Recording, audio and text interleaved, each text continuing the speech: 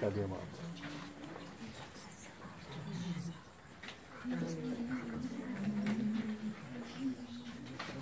So do we clap for this?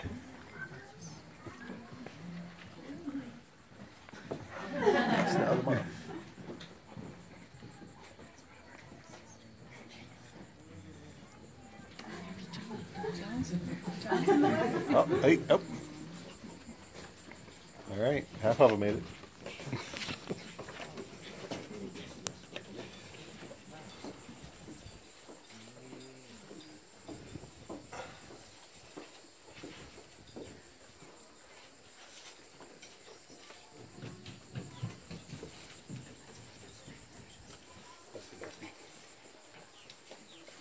Will everyone please stand?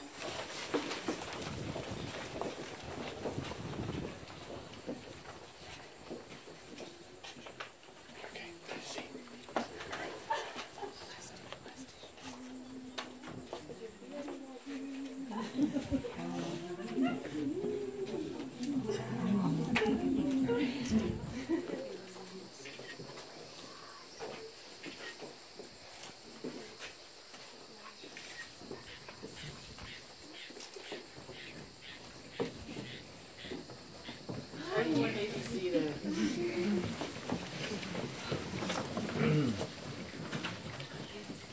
Behind me stands the Cape Hatteras Lighthouse, a beacon shining over the roughest and stormiest seas. It is a comforting sign of calm waters, a welcome harbor, and safe shelter. Today, it symbolizes guidance, light, and hope. Behind you hang wind chimes. Their tones calm our minds and connect us with our environment.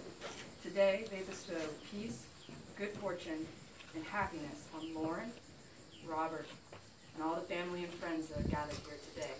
Keith, why don't you give those chimes a so we can hear the tones? Mm-hmm. In the distance, if you listen carefully, you can hear the waves crashing, excuse me, caressing gently on the beach. We're all here today because the beach is a place that Lauren and Robert love, and a place that they love to be together. Welcome. We're going to start with a reading by Mark Twain. I am not Mark Twain.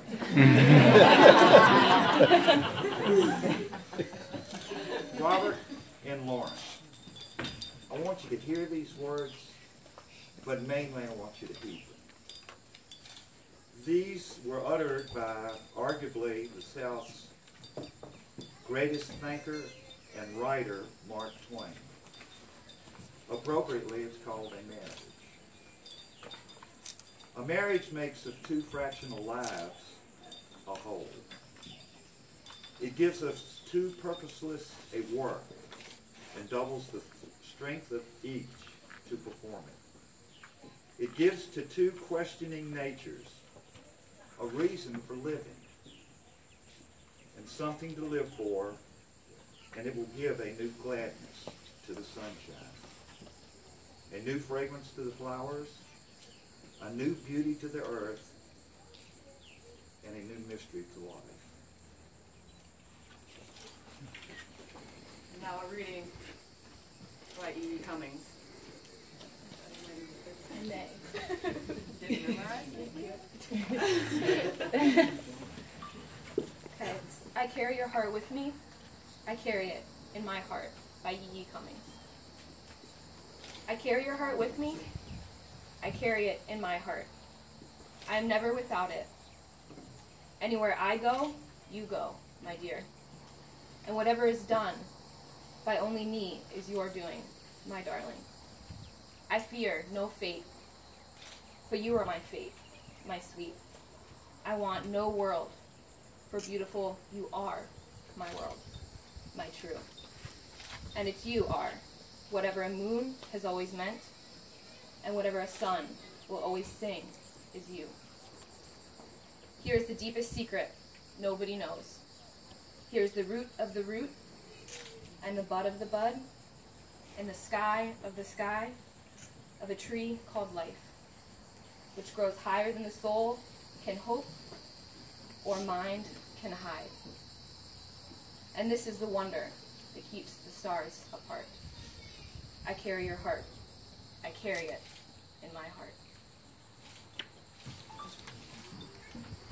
Now the bride and groom have actually prepared their own vows.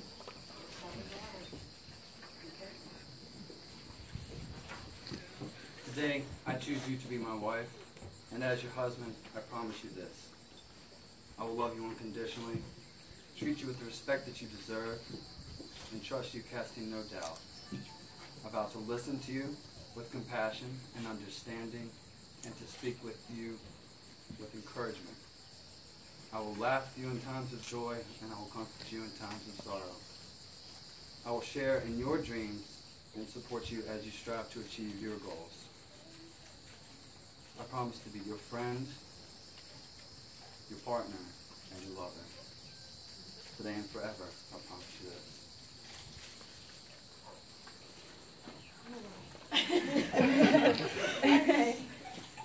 Um, Robert, I promise to encourage your goodness because that's what makes you unique and wonderful. I promise to nurture your dreams because through them your soul shines. I promise to help shoulder our challenges because there's nothing we can't face together.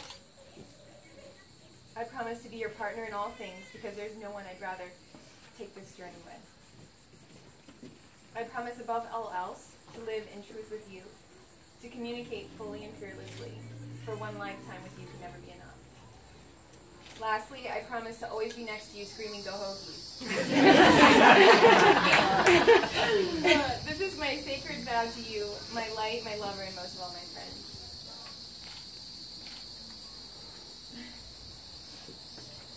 Now, it's the good stuff.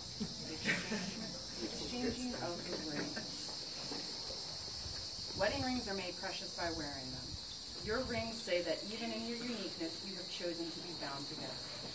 Let these rings also be a sign that love has substance as well as soul, a present as well as a past, and that despite its occasional sorrows, love is a circle of happiness, wonder, and delight.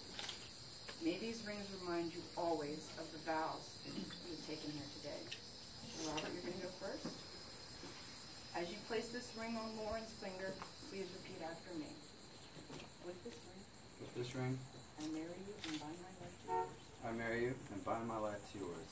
It is a symbol of my love, It is a symbol of my love, my friendship, my friendship, and the promise of all my and the promise of all my tomorrows.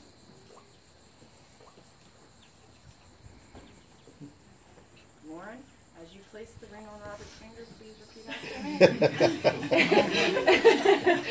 Mr. Chance. I'm ready. Okay, you got this? Change your rate. With this ring, With this ring, I marry you and bind my life to yours. I marry you and bind my life to yours. It is a symbol of my love, It is a symbol of my love, my friendship, my friendship, and the promise of all my tomorrows. and the promise of all my tomorrows.